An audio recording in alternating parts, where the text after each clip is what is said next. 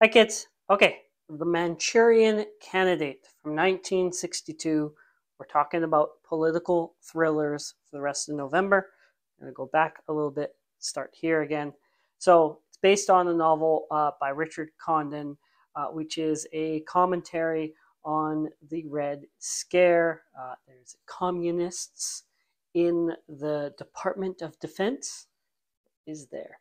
Um, there's a senator character, which is modeled off of Joseph McCarthy. So that's a part of many things that we are commenting on in this film. Uh, Sinatra was a fan of the novel.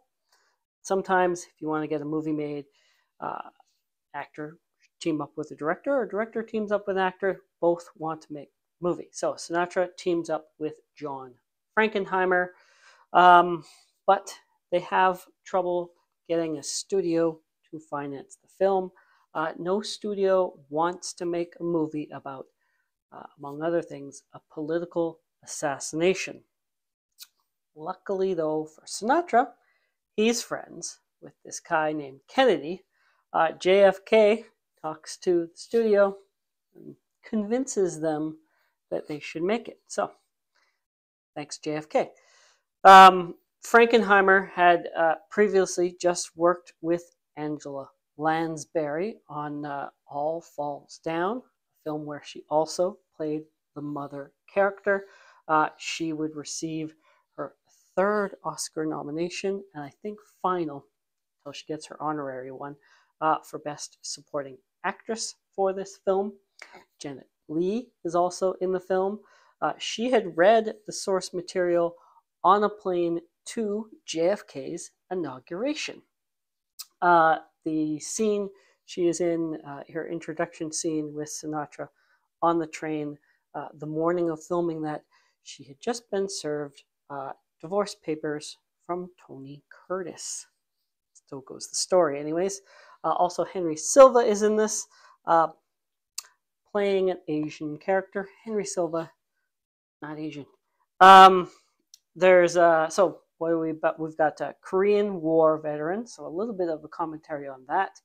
Um, they're being brainwashed. Lawrence Harvey or Lawrence Harvey, sorry, Lawrence Harvey is one of the veterans. Uh, Sinatra was his commanding officer. Uh, they have, we have Russia and China attempting to interfere with the election. Who would have thought? Lots of fiction in this one. Um, novel, uh, it's made a lot more of the uh, incestuous relationship uh, between uh, Lansbury's mother character and Harvey, her son. Uh, this is 1962, so that's downplayed. Um, there's this film was also nominated for best editing, and then unfortunately, uh, 13 months after the release of the film, uh, Kennedy was assassinated, which kind of killed the appetite uh, for a fictionalized similar uh, film. So there wasn't a lot of interest in watching The Manchurian Candidate for a little while for some people. Uh, but there we go. Uh, Manchurian Candidate. Thank you for watching. Like, subscribe.